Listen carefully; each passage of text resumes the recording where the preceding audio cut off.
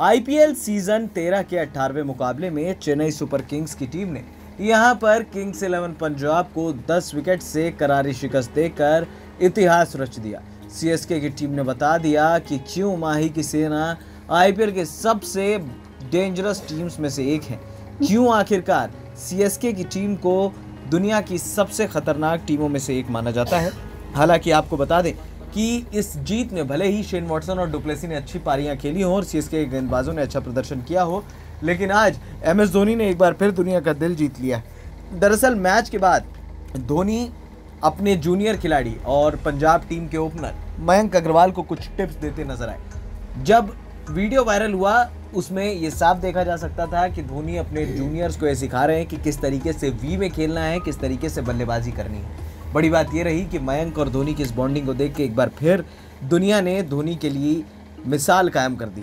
धोनी की दरिया दली हमने वैसे कई बार देखी है।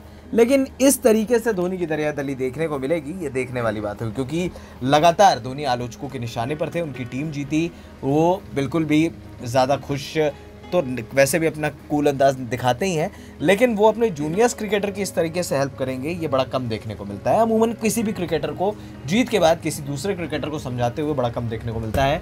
यही क्वालिटी है एम एस धोनी में। शायद यही वजह है कि माही दुनिया के सबसे महानतम खिलाड़ियों में से एक हैं। एल डी न्यूज़ रूम की रिपोर्ट